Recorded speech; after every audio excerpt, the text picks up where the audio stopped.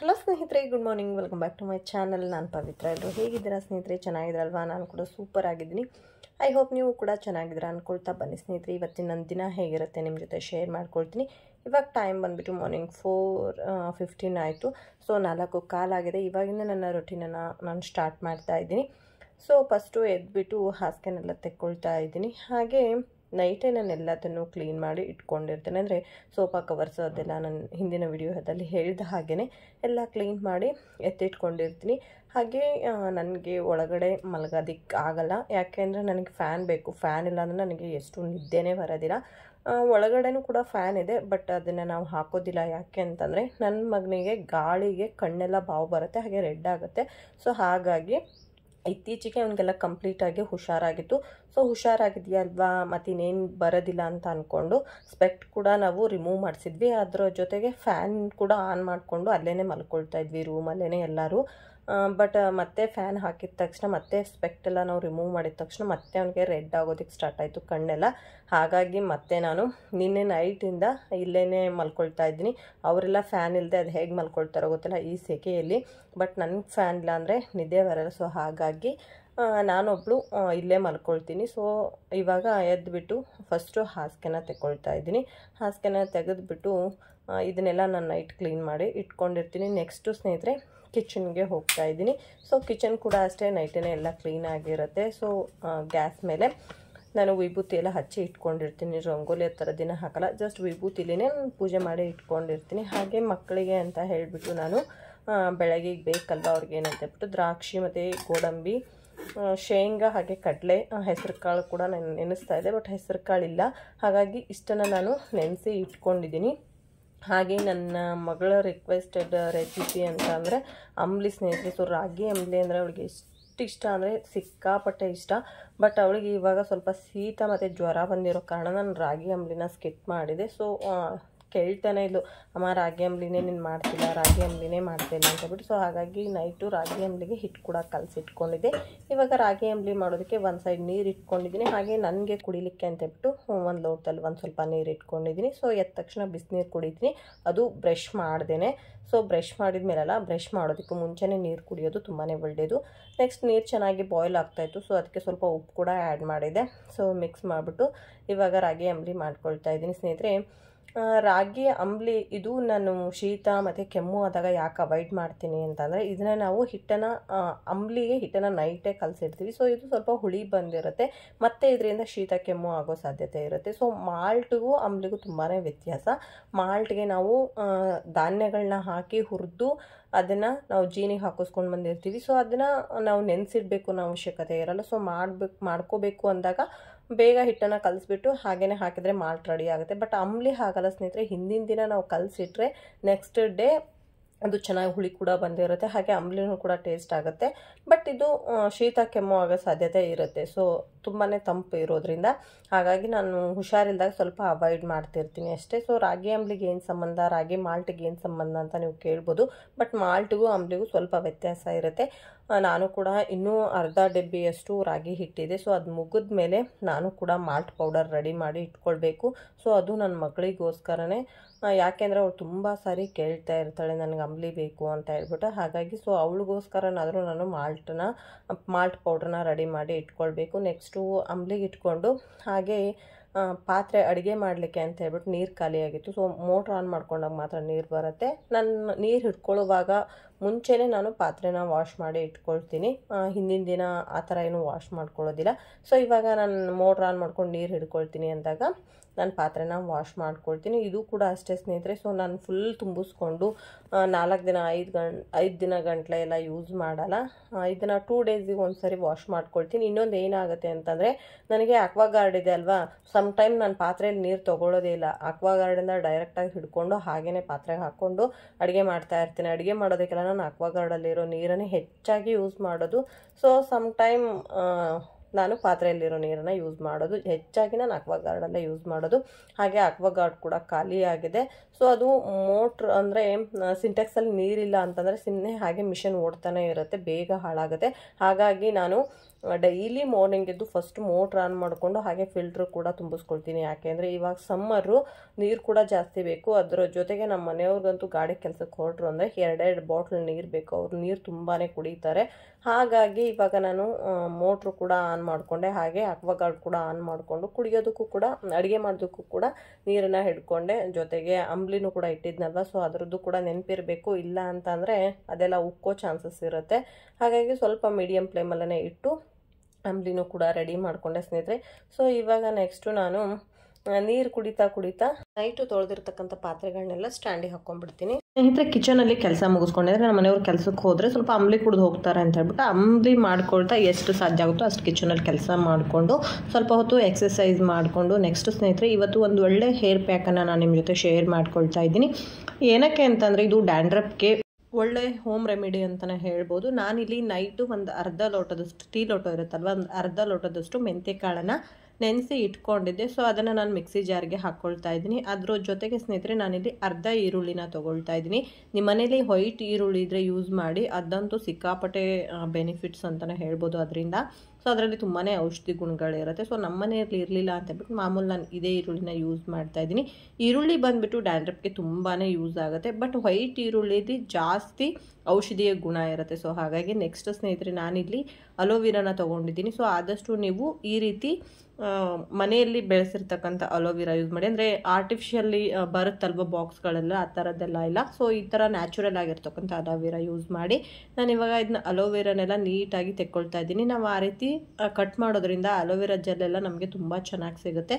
So ಹಾಗಾಗಿ ನಾನು ಇದನ್ನು ತೆಕ್ಕೊಳ್ತಾ ಇದ್ದೀನಿ. ಹಾಗೆ ಇದರ ಸಿಪ್ಪೆನೂ ಕೂಡ ನಾನು ವೇಸ್ಟ್ ಮಾಡಲ್ಲ ಸ್ನೇಹಿತರೆ. ಯಾಕೆಂದರೆ ಸಿಪ್ಪೆಯಲ್ಲಿ ಕೂಡ ಇನ್ನೂ ಒಂದು ಸ್ವಲ್ಪ ಅಲೋವೆರಾ ಇರುತ್ತೆ. ಅದನ್ನು ನಾನು ನೀಟಾಗಿ ಮನ್ ಮುಖಕ್ಕೆ ಹಾಕ್ಕೊಂಡು ಸ್ಕ್ರಬ್ ಮಾಡ್ಕೊಳ್ತೀನಿ. ಮುಖಕ್ಕೆ ಹಾಕೋದ್ರಿಂದ ಪಿಂಪಲ್ಸ್ ಎಲ್ಲ ಹೋಗುತ್ತೆ. ಸೊ ಹಾಗಾಗಿ ಇವಾಗ ನಾನು ಅದನ್ನು ಪೇಸ್ಟ್ ರೆಡಿ ಮಾಡಿಕೊಂಡೆ. ಹಾಗೆ ಸ್ನೇಹಿತರೆ ಕೂದಲುಗಳನ್ನ ನಾನು ಎರಡು ಭಾಗ ಮಾಡ್ಕೊಂಡಿದ್ದೀನಿ. ಭಾಗ ಮಾಡಿಕೊಂಡು ನೀಟಾಗಿ ನಮ್ಮ ಬುರುಡೆಗೆ ತಾಕೋ ರೀತಿ ನಾವು ಈ ಒಂದು ಹೇರ್ ಪ್ಯಾಕನ್ನು ಹಾಕ್ಕೊಳ್ಬೇಕಾಗತ್ತೆ ಯಾಕೆ ಅಂತಂದರೆ ಡ್ಯಾಂಡ್ರಫ್ ಬಂದುಬಿಟ್ಟು ನಮ್ಮ ಬುರುಡೆಯಿಂದನೇ ಸ್ಟಾರ್ಟ್ ಆಗುತ್ತಲ್ವ?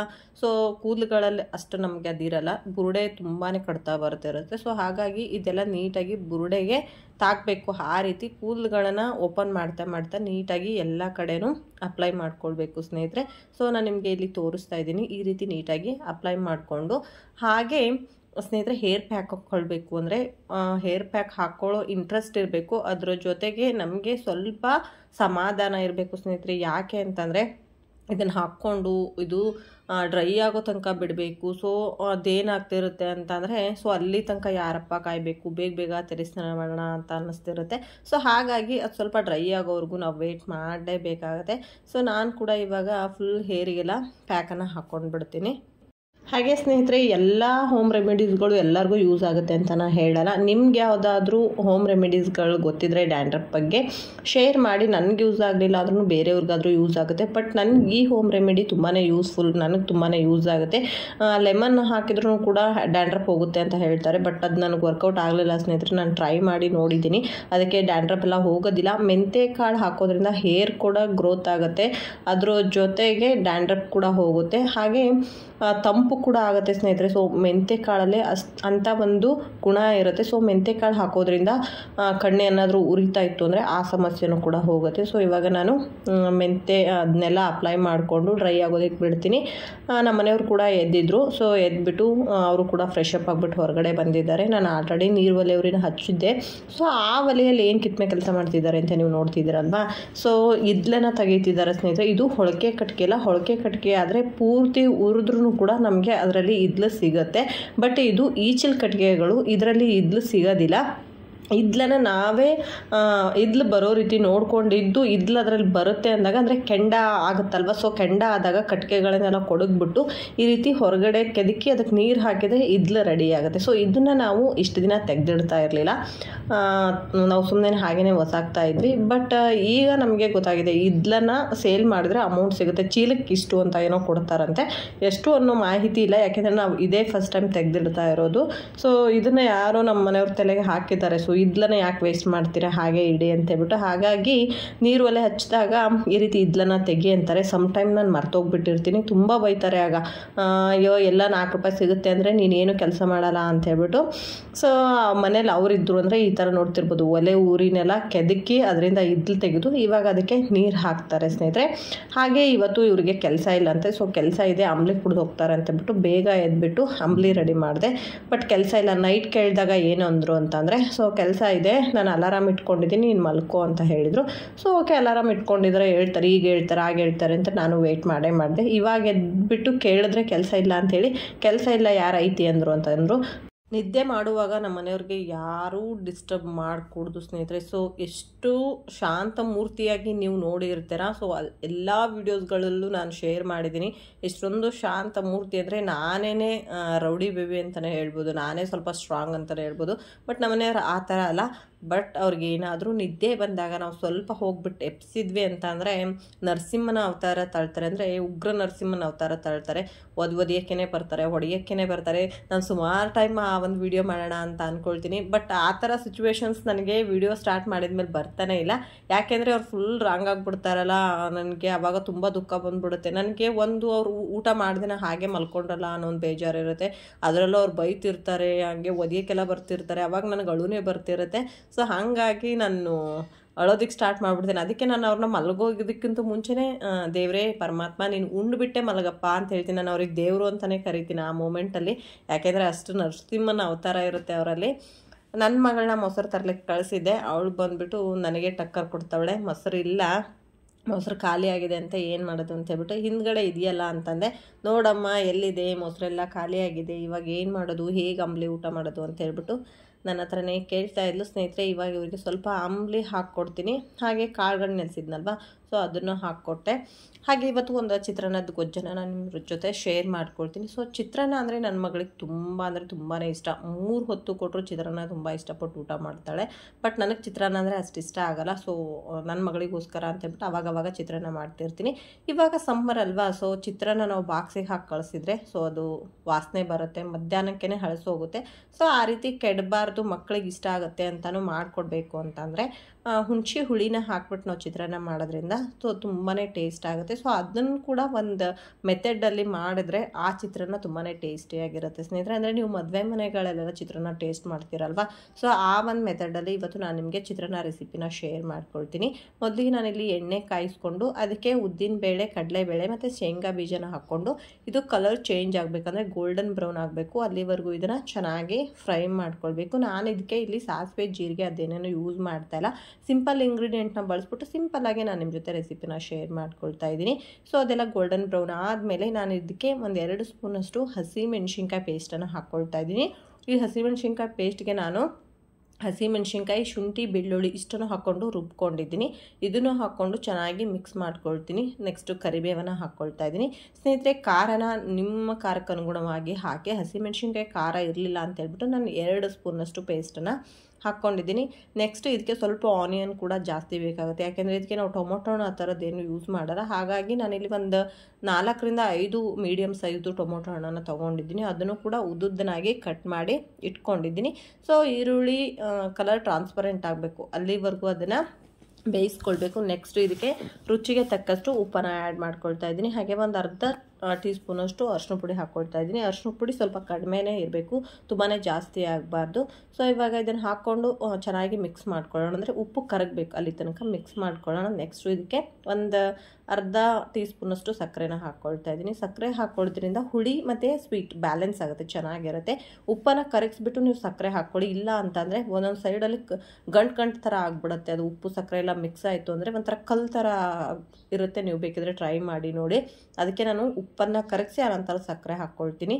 ಸೊ ನೆಕ್ಸ್ಟು ನಮಗೆ ಹುಂಚಿ ಹುಳಿ ಎಷ್ಟು ಬೇಕು ನೋಡಿಕೊಂಡು ಹಾಕ್ಕೊಳ್ಳಿ ಸೊ ನಿಮ್ಗೆ ಎಷ್ಟು ಹುಳಿ ಬೇಕಾಗುತ್ತೆ ನೋಡಿ ಗೊಜ್ಜು ಮಾಡುವಾಗ ಗೊತ್ತಾಗುತ್ತೆ. ಸೊ ಅಷ್ಟು ಹುಳಿಯನ್ನು ಹಾಕ್ಕೊಂಡು ಸ್ನೇಹಿತರೆ, ಇದನ್ನು ನಾವು ಜಾಸ್ತಿ ಹೊತ್ತು ಕುದಿಸ್ಬಾರ್ದು. ಜಸ್ಟ್ ಒಂದು ಕುದಿ ಬರಬೇಕಂದ್ರೆ ಆಯಿಲ್ ಎಲ್ಲ ಮೇಲ್ ಬರ್ತಾ ಇರುತ್ತೆ. ನಿಮಗೆ ಗೊತ್ತಾಗುತ್ತೆ, ಕುದಿ ಬರ್ತಾ ಇರುವಾಗ ಆಯಿಲ್ ಎಲ್ಲ ಮೇಲ್ ಬರ್ತಾ ಇರುತ್ತೆ, ಹುಳಿ ಎಲ್ಲ ಕೆಳಗಡೆ ಕೂತಿರುತ್ತೆ ನೋಡ್ತಾ ಇರ್ಬೋದು. ಈ ರೀತಿ ಬಂತು ಅಂದರೆ ಗ್ಯಾಸ್ನ ಆಫ್ ಮಾಡಿ ಸ್ವಲ್ಪ ಹೊತ್ತು ತಣ್ಣಗಾಗೋದಕ್ಕೆ ಬಿಟ್ಟು ಆ ನಂತರ ನೀವು ಗೊಜ್ಜು ಕಲಿಸ್ಕೊಳ್ಳಿ. ನಾನಿಲ್ಲಿ ಗೊಜ್ಜು ತಣ್ಣಗಾದ್ಮೇಲೆ ಸೊ ಚಿತ್ರಾನ್ನ ಕೂಡ ಕಲಸಿ ಇಟ್ಕೊಂಡಿದ್ದೀನಿ. ಹಾಗೆ ಅದ್ರ ಜೊತೆಗೆ ಮಕ್ಕಳದ್ದು ಸ್ನಾನ ಕೂಡ ಆಯಿತು ಸ್ನೇಹಿತರೆ. ಮಕ್ಕಳದ್ದು ಸ್ನಾನ ಮಾಡಿಸ್ಬಿಟ್ಟು ಅವಳಿಗೆ ಇವತ್ತು ಮ್ಯಾಥ್ಸ್ ಲಾಸ್ಟ್ ಎಕ್ಸಾಮ್ ಇದೆ. ಸೊ ಅದನ್ನೇ ನಾನು ಒಂದು ಸಾರಿ ರಿವಿಸನ್ನ ಹಾಕ್ಕೊಟ್ಟಿದ್ದೆ ಅದನ್ನೇ ಅವಳು ವರ್ಕ್ ಮಾಡ್ತಾ ಕೂತಿದ್ದಾಳೆ. ನನ್ನ ಮಗ ಬಂದ್ಬಿಟ್ಟು ಎಲ್ಲೆಲ್ಲೋ ಹೊರಗಡೆ ಆಟ ಆಡೋಕೆ ಹೋಗಿದ್ದಾನೆ ಅಂತ ಅಂದ್ಕೊಳ್ತೀನಿ ಸೊ ಅವ್ನಿಗೆ ಎಕ್ಸಾಮ್ ಇಲ್ವಲ್ವ? ಟೆನ್ಷನ್ ಇಲ್ಲ ಅವನಿಗೆ. ಹಾಗೆ ನಾನು ಬಟ್ಟೆ ಎಲ್ಲ ವಾಶ್ ಮಾಡೋಣ ಅಂತ ಹೇಳ್ಬಿಟ್ಟು ಹೊರಗಡೆನೆ ಬಟ್ಟೆ ತಂದು ಇಟ್ಕೊಂಡಿದ್ದೀನಿ ಸ್ನೇಹಿತರೆ, ಇವತ್ತು ಬಟ್ಟೆ ಎಲ್ಲ ವಾಶ್ ಮಾಡಿ ನಂತರ ನಾನು ಸ್ನಾನ ಮಾಡಿಕೊಂಡೆ. ಇನ್ನೂ ಹತ್ತು ಗಂಟೆನೂ ಕೂಡ ಆಗಿಲ್ಲ. ಇಷ್ಟರಲ್ಲೇ ನನ್ನ ಸ್ನಾನ ಆಲ್ಮೋಸ್ಟ್ ಅಲ್ಲೆಲ್ಲ ಕೆಲಸನೂ ಕೂಡ ಆಗ್ತಾ ಬಂತು. ಯಾಕೆ ಇಷ್ಟು ಬೇಗ ಸ್ನಾನ ಮಾಡಿಕೊಂಡೆ? ಹಾಗೆ ಬಟ್ಟೆ ಯಾಕೆ ನಾನು ವಾಶ್ ಮಾಡಿಕೊಂಡೆ ಸ್ನಾನಕ್ಕಿಂತ ಮುಂಚೆ? ಅಂದರೆ ಯಾವಾಗಲೂ ನಾನು ಸ್ನಾನ ಮಾ, ಪೂಜೆ ಎಲ್ಲ ಮಾಡಿಬಿಟ್ಟೆ ಬಟ್ಟೆ ವಾಶ್ ಮಾಡ್ತಾ ಇದ್ದೆ. ಬಟ್ ಇವತ್ತು ಸಂಕಷ್ಟಹರ ಚತುರ್ಥಿ ಇರೋದ್ರಿಂದ ಬಟ್ಟೆ ವಾಶ್ ಮಾಡಿದ್ರೆ ಸಂಜೆ ದೇವಸ್ಥಾನಕ್ಕೆ ಹೋಗೋಕ್ಕಾಗೋದಿಲ್ಲ ಬಟ್ಟೆ, ಮೈಲಿಗೆ ಬಟ್ಟೆ ಎಲ್ಲ ತೊಳೆದ್ಬಿಟ್ಟು ನಂಗೆ ದೇವಸ್ಥಾನಕ್ಕೆ ಹೋಗೋಕ್ಕೆಲ್ಲ ಇಷ್ಟ ಆಗಲ್ಲ. ಅದಕ್ಕೋಸ್ಕರ ಬಟ್ಟೆ ವಾಶ್ ಮಾಡಿಕೊಂಡೆ. ಸೊ ಬಟ್ಟೆ ನಾಳೆನೂ ವಾಶ್ ಮಾಡ್ಬೋದಿತ್ತು. ಬಟ್ ಇವತ್ತು ಬುಧವಾರ ಮತ್ತು ನಾಳೆ ಗುರುವಾರ ಅಲ್ವಾ ಮಕ್ಕಳಿಗೆ ಯೂನಿಫಾರ್ಮ್ ಬೇಕೇ ಬೇಕು. ಸೊ ಎರಡು ದಿನಕ್ಕೊಂದ್ಸರಿ ನಾನು ಯೂನಿಫಾರ್ಮ್ಸ್ನ ವಾಶ್ ಮಾಡಿ ಇಟ್ಕೊಳ್ತೀನಿ. ಹಾಗಾಗಿ ನಾನು ಬಟ್ಟೆ ಎಲ್ಲ ವಾಶ್ ಮಾಡಿಕೊಂಡು ಆ ನಂತರ ಸ್ನಾನ ಮಾಡಿಕೊಂಡು ಹಾಗೆ ಎಕ್ಕಿ ಹೂನ ಹರ್ಕೊಂಡು ಬಂದಿದ್ದೆ ಸ್ವಲ್ಪ. ನಮ್ಮ ಮನೆ ನೇಯರ್ ಒಂದು ದೊಡ್ಡ ಗಿಡ ಇತ್ತು. ಅದನ್ನು ಯಾರೋ ಕಡ್ದಾಕ್ಬಿಟ್ಟಿದ್ದಾರೆ. ಸ್ವಲ್ಪ ಹೂಗಳಿತ್ತು. ಅದಿಷ್ಟರಲ್ಲೇ ನಾನು ಕೊಯ್ಕೊಂಡು ಬಂದು ಅದನ್ನೆಲ್ಲ ತೆಗೆದುಬಿಟ್ಟು ಎಕ್ಕೆ ಹೂವಿನ ಮಾಲೆ ಮಾಡ್ತಾ ಇದ್ದೀನಿ. ಹಾಗೆ ನನ್ನ ಮಗಳು ಬಂದ್ಬಿಟ್ಟು ನೋಡಿ ನಾನು ರಿವಿಸನ್ ಮಾಡಿದ್ದೀನಿ ಹೇಗಾಗಿದೆ ಅಂತ ಹೇಳ್ಬಿಟ್ಟೆಲ್ಲ ಮಾತಾಡ್ತಾ ಇದ್ಲು ನಿಮ್ಮ ಜೊತೆ. ಸೊ ಅದೆಲ್ಲ ಸೌಂಡ್ ನಾನು ತೆಗೆದಿದ್ದೀನಿ. ಯಾಕೆ ಅಂತಂದರೆ ನಮ್ಮ ಮನೆಯವರು ಪಕ್ಕದಲ್ಲಿ ಕುತ್ಕೊಂಡು ಮೊಬೈಲ್ ನೋಡ್ತಾಯಿದ್ರು ಸೊ ಸೈಡಲ್ಲಿ ನಮ್ಮ ಕ್ಯಾಮ್ರಾ ಕಾಣಿಸ್ತಾ ಇಲ್ಲ. ಸೈಡಲ್ಲಿ ಕುತ್ಕೊಂಡು ಮೊಬೈಲ್ ನೋಡ್ತಾಯಿದ್ರು ಸೊ ಅದ್ರದ್ದು ಸೌಂಡ್ ಎಲ್ಲ ಬರ್ತಿತ್ತು ಅಂತ ಹೇಳ್ಬಿಟ್ಟು ಇವಳು ಮಾಡಿರೋದನ್ನು ಇವಳು ಮಾತಾಡಿರೋದನ್ನೆಲ್ಲ ನಾನು ಕಟ್ ಮಾಡಿದ್ದೀನಿ ಸೊ ತುಂಬಾ ಕ್ಯೂಟ್ ಕ್ಯೂಟಾಗಿ ಮಾತಾಡ್ತಾ ಇದ್ಲು. ನೋಡಿ, ನಮ್ಮಮ್ಮ ಇಷ್ಟು ಚೆನ್ನಾಗಿ ಬರೆದ್ರು, ಚೆನ್ನಾಗಿ ಬರೆದಿಲ್ಲ ಅಂತಾರೆ. ನಾನು ಎಷ್ಟು ಚೆನ್ನಾಗಿ ಬರೀತೀನಿ ಗೊತ್ತಾ? ನಾನು ಎಷ್ಟು ಚೆನ್ನಾಗಿ ಬರೆದ್ರು ನಮ್ಮಮ್ಮ ಇನ್ನೂ ದುಂಡ್ಗೆ ಆಗೇ ಇಲ್ಲ ಅಂತಾರೆ. ಇನ್ನೂ ಚೆನ್ನಾಗಿ ಬರಿ, ಇನ್ನೂ ಚೆನ್ನಾಗಿ ಬರಿ ಅಂತಾರೆ. ನೀವೇ ನೋಡಿ ಫ್ರೆಂಡ್ಸ್ ಅಂತ ಹೇಳ್ತಾ ಇದ್ಲು.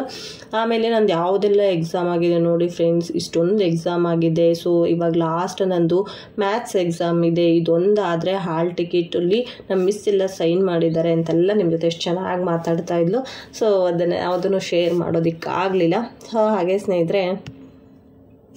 ಮಾಲಿ ಎಲ್ಲ ರೆಡಿ ಮಾಡಿಕೊಂಡು ಪೂಜೆ ಮಾಡಿಕೊಂಡೆ. ಹಾಗೆ ಗಣೇಶನಿಗೆ ಪ್ರಿಯವಾಗಿದ್ದು ಅಂದರೆ ಇದೇ ಎಕ್ಕದ ಹೂವು, ಮತ್ತು ದಾಸವಾಳದ ಹೂವು, ಗರಿಕೆ ಪತ್ರೆ ಅಂದ್ರೂ ಕೂಡ ಅವನಿಗೆ ಗಣೇಶನಿಗೆ ತುಂಬ ಇಷ್ಟ. ಸೊ ಇದನ್ನು ಎಲ್ಲ ರೆಡಿ ಮಾಡ್ಕೊಂಡು ಪೂಜೆ ಮಾಡಿದೆ. ನನ್ನ ಮಗಳನ್ನ ನಮ್ಮ ಮನೆಯವರು ಸ್ಕೂಲಿಗೆ ಡ್ರಾಪ್ ಮಾಡಲಿಕ್ಕೆ ಅಂತ ಹೇಳ್ಬಿಟ್ಟು ಹೋದರು. ಸೊ ಇಲ್ಲಿ ಒಂದು ಗಣೇಶ ಆಯಿತು. ಇಲ್ಲೂ ಕೂಡ ಏರಿಸಿದ್ದೀನಿ. ಹಾಗೆ ಇಲ್ಲೊಂದು ಗಣೇಶ ಆಯ್ತಲ್ವ? ಸೊ ಎರಡೂ ಗಣೇಶಂಗೂ ನಾನು ಎಕ್ಕದ ಹೂನ ಏರಿಸಿದ್ದೀನಿ ಮಾಲೆನ ಹಾಕಿದ್ದೀನಿ. ಹಾಗೆಯೇ ನೈವೇದ್ಯಕ್ಕೆ ಅಂತ ಹೇಳ್ಬಿಟ್ಟು ಸೇಂಗ್ ಕಡಲೆ ಮತ್ತು ಸಕ್ಕರೆನ ನಾನು ನೈವೇದ್ಯ ಮಾಡ್ಕೊಂಡಿದ್ದೀನಿ. ತುಂಬ ಮಿಸ್ಟೇಕ್ಸ್ ಆಗ್ತಿದೆ ಇವತ್ತು ಯಾಕೆ ಅಂತ ಗೊತ್ತಿಲ್ಲ.